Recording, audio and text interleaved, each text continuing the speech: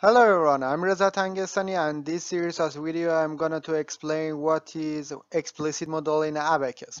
Before starting, I just wanted to mention it is very important for you guys to download the CAE file from our website. So by having this CAE file and this video, you can follow our tutorial and then you can apply it in your model and you can learn better. Okay, as an introduction, at first we're gonna explain what is the difference between the explicit and the implicit model. After that, we're gonna talk about approaches to increase the computational efficiency. However, the main focus of this video is talking about the mass scaling in explicit model. For have a better understanding, we're going to talk more about the fundamental aspect of the uh, mass scaling in uh, explicit. And also we're going to talk about the criteria that we're going to use to analyze the accuracy of uh, model with using mass scaling.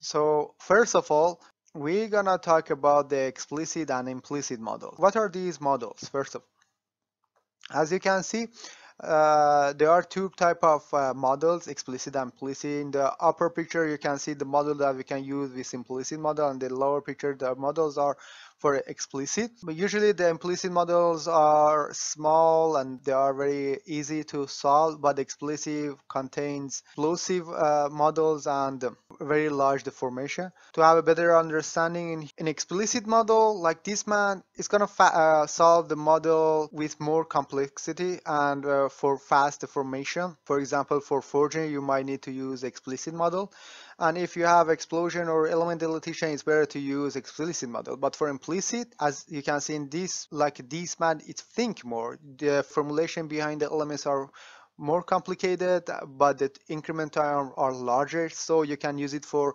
uh, larger step times however the model can have long time process it might have simple contact and also it's almost close to the static models so now there's a question how we can make the explicit model faster. As we described, the explicit model are good for a small increment time. So we need to increase the time efficiency. So there are two main approaches that we can use. First of all is decreasing the processing time and the other one is increasing the increment time. I mean by increasing the increment time, make the, making them larger. Here I'm gonna explain how it works.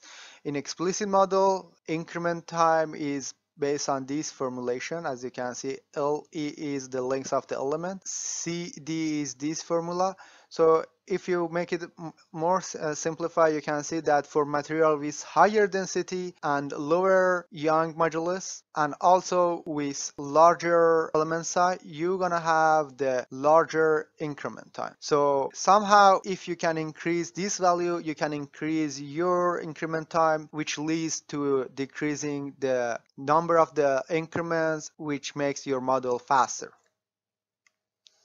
okay first of all changing the step time. This is the approach that we're going to explain the next video but here just uh, having a brief description you can make your model faster. For example if a process is 30 seconds in real uh, life you you can simulate it at the one second in your simulation. So by doing this you will need less number of increment which leads to less computational time. This approach is not the purpose of this video we're going to talk about it later but the most important one is increasing the material density. By increasing the material density as we described in the formula, you can increase the increment time so you can have faster model and somehow you can scale your density or your math to increase the size of increment.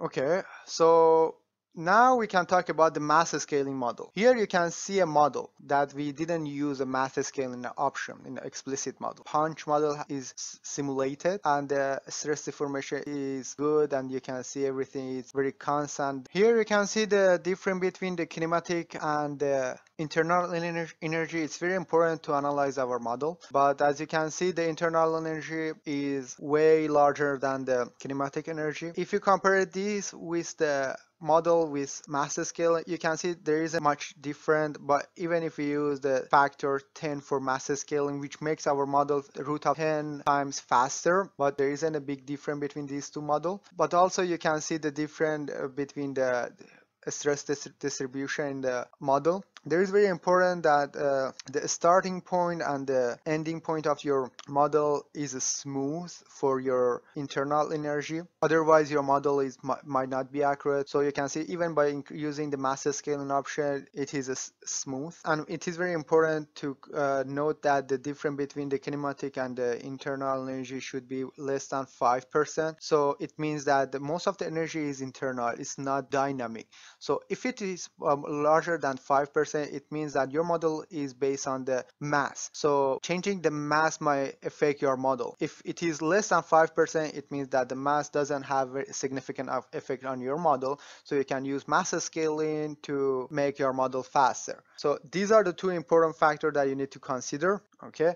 And the last point you can see the difference between the mass scaling and without mass scaling the difference is not significant. The, uh, the color is different because of the different value for each color but the values are close. And you can also see the difference between these two models which are close shows that the, using mass scaling didn't affect our model. In real study you can use the mass scaling and just you need to apply those two important factors. Considering less 5% for your kinematic energy compared to in internal energy and it should be a smooth from the for the starting point and the ending point of your model. Okay now we can go to the model as you can see the job is completed and you now you can see the results. This is for the model with mass scaling. If we go to job 3 it is the model without mass scaling. If we wanted to see internal and the kinem um, kinematic energy we can go to here OD uh, history output and here you can see ALLIE and the one with KE. If you select both of them and click on plot, you can see the difference between the kinematic and the internal energy is uh, pretty much same because punch was moving without pressing the part. Uh, after pressing and deforming the material, one with internal energy and start to increase. With increasing the deformation, you can see the ALLIE is increased more. And after that was finished, it's almost constant. And if you go to other one, you can see the same results uh, but with a little more different uh, I just wanted to show you the results to show you that both works correctly and now I think it's pretty much okay for the mass scaling. Uh, next video I'm gonna talk about for more options. I hope you can you enjoy this video. Until the next one, bye.